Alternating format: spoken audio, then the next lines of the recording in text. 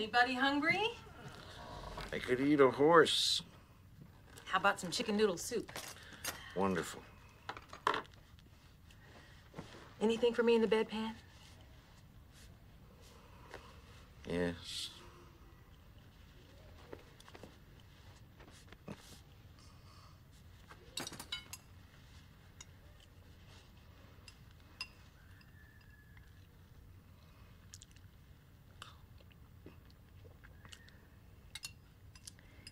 Jeannie told us all about your little panic attack last night. And I don't blame you. It's a perfectly natural reaction. In the beginning, I had my own reservations. As the veteran of two failed marriages, I have learned a lot about what works and does not work between two people. And I can tell you, these kids are in very good shape.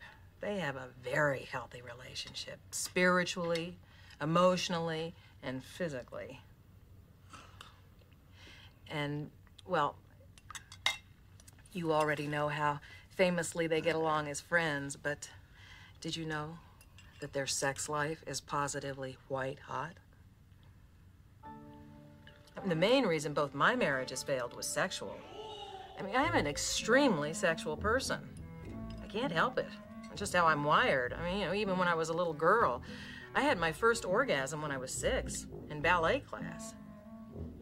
Anyway, the point is that I have always been very easily aroused and very orgasmic. I mean, Jeannie and I have a lot in common that way. Clifford and Larry, I mean, they were nice guys, but they just could not keep up with me. Anyway, I don't want to betray Jeannie's confidence, but let me just assure you that whatever problems those two kids may run into along the way, they will always be able to count on what happens between the sheets to keep them together. More soup? Uh, no. I think I'm fine now.